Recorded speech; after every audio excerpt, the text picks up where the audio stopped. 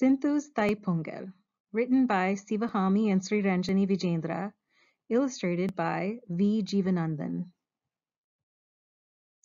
On the morning of Thai Pongal, Amma wakes Sinthu up before the sunrise.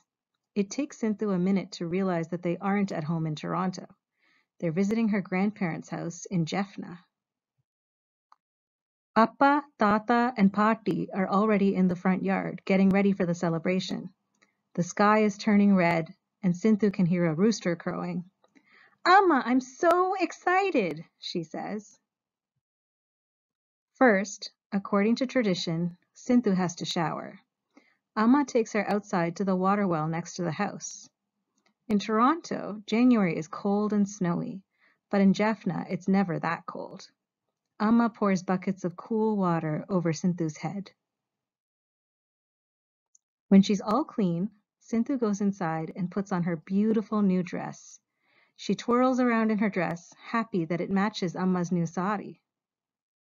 In the front yard, Paati is using rice flour to draw a beautiful pattern on the ground. Look, Sinthu, she says. This is the kolam. The ground inside here is now sacred, and the flour will be food for the ants after we're done. Paati, can I help? Asks Sinthu. Of course, says Paati. She holds Sinthu's hands and helps her make some swirls and dots.